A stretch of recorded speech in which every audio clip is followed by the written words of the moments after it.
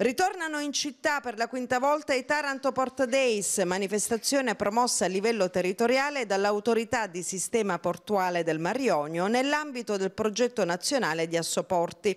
Conferenza stampa di presentazione dell'edizione 2023 che dal 6 all'8 ottobre vedranno il porto della città Bimare protagonista di numerosi eventi di varia natura.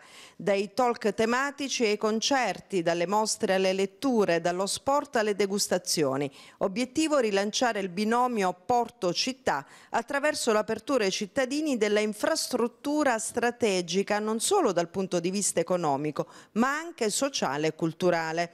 Il presidente dell'autorità di sistema portuale del Marionio, Sergio Prete. Quest'anno parleremo delle competenze e in particolare chiaramente delle competenze eh, portuali dove c'è anche un'interessante evoluzione delle stesse e quindi affronteremo quelle che sono eh, le professioni oggi richieste nei porti ma anche quelle che sono le professioni del futuro nei porti grazie all'innovazione presente nei porti stessi.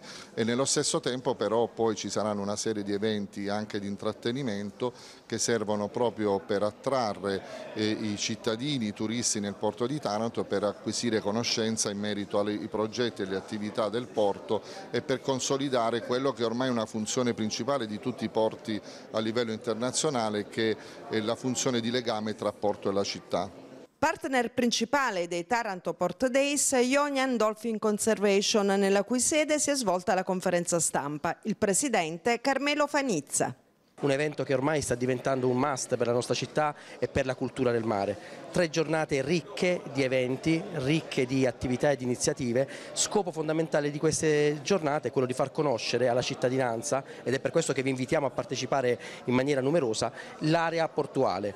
La manifestazione si avvale anche del patrocinio del Comune di Taranto. Ai nostri microfoni l'assessore ai servizi educativi e allo spettacolo Fabiano Marti. Noi come amministrazione abbiamo anche sottoscritto questo protocollo con eh, l'autorità portuale per eh, raccontare il mare e il porto ai più piccoli, lo faremo con, eh, sui catavalli nella Ionian Dolphin e anche con un nostro gazebo della biblioteca comunale che sarà a disposizione di tutti per raccontare quello che accade nella nostra biblioteca. Un rapporto sicuramente simbiotico quello tra la Capitaneria di Porto e l'infrastruttura portuale, come ha sottolineato il comandante Rosario Meo. Il porto costituisce elemento trainante di economia e fa parte di quel patrimonio identitario di questa città che da sempre ha attratto dal porto stesso sviluppo eh, e nuove prospettive anche legate a, a traffici e penetrazione nell'ambito anche di quelle che sono le linee commerciali nazionali.